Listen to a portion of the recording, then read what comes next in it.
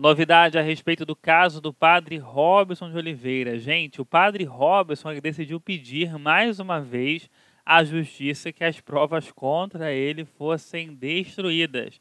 E a juíza, na hora que dar uma resposta para o padre Robson, ela não poupou argumentos, ela foi contrária a esse pedido. A gente vai explicar como é que está andando tudo isso, porque esse pedido do padre Robson, gente, ele acontece justamente no momento em que o Ministério Público do Estado de Goiás, ele tenta recorrer à decisão do Tribunal de Justiça do mesmo estado, vocês lembram, que trancou a decisão, né, trancou o julgamento, o andamento do julgamento em relação a esse religioso que é acusado de desviar nada mais, nada menos do que 120 milhões de reais da AFIP, que é a Associação Filhos do Pai Eterno, uma entidade ligada à Igreja Católica. Mas antes da gente explicar como está tudo isso, que confusão, né, gente? Que é o famoso eita atrás de eita.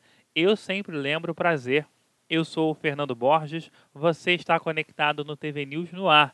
Se você não conhece o nosso programa, olha só como é fácil você se inscrever. Basta você clicar no botãozão, o botãozão vermelho de inscreva-se, ativar corretamente o sininho para receber as nossas notificações em tempo real e, por que não, nos ajudar clicando no gostei, clicando no joinha. É fácil, é simples e ajuda pra caramba aqui no YouTube o nosso canal a crescer.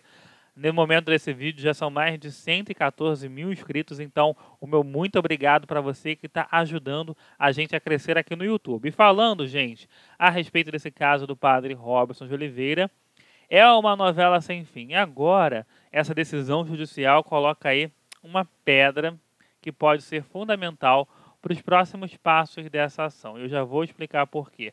A gente tem uma matéria publicada pelo site Jornal Opção e olha só o que diz essa manchete. Juiz nega destruição de provas pedida pelo padre Robson de Oliveira. A magistrada repetiu a sentença que já havia sido dada pelo desembargador Nicomedes Domingos Borges e determinou o depósito das provas em juízo, ou seja, diferente daquilo que havia sido falado pela defesa do religioso do padre Robson de Oliveira, Nesse momento, as provas que foram colhidas pelo Ministério Público do Estado de Goiás, ainda que haja a determinação nesse momento da Justiça de trancar a investigação relativa a esse caso, os, as provas em si vão ficar depositadas em juízo, ou seja, elas vão ficar guardadas até que realmente o caso tenha um final. Porque, gente, ah, como todo mundo já deve imaginar, há sempre as possibilidades de recursos de todas as partes, até que se chegue a um momento, no máximo em alguns casos, pode-se chegar ao tribunal né, máximo do Brasil, que é o Supremo Tribunal Federal, o STF. Antes da gente dar mais detalhes sobre essa decisão dessa juíza, eu peço que você vá nos nossos comentários, vá aí e escreva. Para você, o padre Robson de Oliveira é culpado ou inocente? Escreva aí, participe desse bate-papo, a sua participação é essencial para fazer o nosso programa existir. Já dou mais uma vez o meu muito obrigado, porque tem muita gente que nos segue que diz: olha, eu tenho certeza que o padre Robson de Oliveira não cometeu nada, que isso tudo é uma forma de tentar derrubar o ministério religioso que ele fez ao longo dos anos, como também tem pessoas que, olha, gente, não é possível que você que está do outro lado não perceba que o padre Robson de Oliveira tem alguma coisa errada, porque as provas são cabais. Claro, isso é o que dizem algumas pessoas. Nesse caso especificamente, que a gente prefere nem dar uma opinião, porque é um caso que envolve religião, igreja. As pessoas fizeram doações, muitas vezes pensando que essas doações iam ter um caminho, e agora a justiça disse que teve outro. E a matéria do jornal Opção continua, olha só. A juíza de direito da vara dos feitos relativos a organizações criminosas e lavagem de capitais, a Placidina Pires, voltou a negar o pedido da defesa do padre Robson de Oliveira Pereira para a destruição do material probatório apreendido, como objetos e documentos que podem, no futuro, claro, acabar é, ministrando uma condenação contra o padre. Lembrando que nesse momento a justiça trancou o processo dele a um processo que gerou e gera grande repercussão, que foi iniciado logo naquela operação, a Operação Vendilhões. A matéria ela continua. A magistrada ela argumentou, prestem atenção no que essa juíza vai argumentar agora para a ter é, feito a, a guarda dessas provas. A restituição dos objetos apreendidos antes do trânsito em julgado da decisão proferida no habeas corpus, assim como a destruição do material, poderá arruinar as investigações do Ministério Público caso o julgado seja reformado, porque, de fato, há o risco de os próprios investigados destruírem esses elementos de prova, objetos e documentos apreendidos por medida de cautela e prudência, e, por bem, refluir da decisão anterior. O refluir significa que ela vai validar novamente a decisão que ela mesma já havia dado.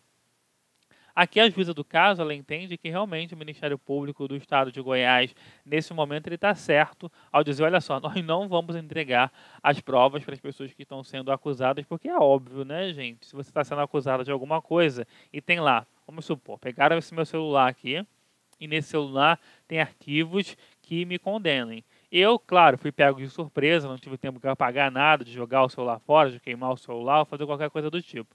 Só que aí a, vamos dizer, a, o Ministério Público fosse obrigado a devolver esse celular. Eu vou lá, pego meu celular e dou um fim nele. Depois, meses depois, anos depois, eu dou qualquer justificativo e falo, olha, gente, vocês devolveram o celular para mim e eu vendi meu celular, eu joguei fora, ah, eu fui roubado. Ah, muitas coisas podem ser ditas pela pessoa em relação a isso, por exemplo, e é o que a juíza diz adiante desse caso. E a juíza ela também adiantou que, como ainda não houve trânsito em julgado da ação, seria temerária a adoção de tal medida extrema, que é a medida de destruição de provas, sem antes aguardar o transcurso, uh, o transcurso perdão, das medidas recursais cabíveis, inclusive às instâncias superiores. Também foi determinado pela magistrada que o Ministério Público de Goiás tem um prazo agora de 48 horas para depositar todo o material probatório em juízo, ou dependendo da quantidade de objetos e documentos que seja entregue em depósito público, devendo tudo ser certificado nos autos. Significa o seguinte, gente, que apesar de das provas contra o padre Robson não serem destruídas, elas vão ficar guardadas pela Justiça e não pelo Ministério Público. Ou seja, nesse momento, a entidade também teve uma certa derrota aí, porque a partir do momento que ela não pode ter acesso a esses dados, a esses documentos, a investigação também não pode continuar. Mas ao mesmo tempo, esses documentos ficam guardados caso a Justiça entenda que esse recurso vai ser aceito pelo Ministério Público. Ou seja, uma vez aceito, esses documentos voltam para o MP. E aqui tem aqui essa informação. Também foi determinado pela magistrada esse prazo, né, de 48 horas, e a defesa do padre Robson de Oliveira, por meio de uma nota, informou que a Justiça manteve a determinação de impossibilidade de utilização do material apreendido pelo Ministério Público de Goiás porque não havia qualquer irregularidade a ser investigada. Na verdade, não. Na verdade, o que houve foi uma determinação do trancamento da, da ação e por isso não está sendo investigada nesse momento. Determinou a imediata entrega de todo o material apreendido pelo Ministério Público de Goiás para ser guardado pelo próprio Poder Judiciário, enquanto o Ministério Público maneja os recursos que pretende fazer. Agora sim, é exatamente isso que a juíza disse no momento em que ela dá essa decisão. Então, as partes todas estão dadas nesse momento. É muito complexo esse processo, por isso que a gente tem que acompanhando com você desde o começo porque é um, é um processo que tem muitas reviravoltas, é um processo em que muita gente acredita que o padre Robson vai sair inocentado, enquanto outras acreditam que não. A notícia está dada. Eu fui Fernando Borges, eu sou Fernando Borges, te encontro na próxima conexão do TV News no ar. Até lá. Tchau, tchau.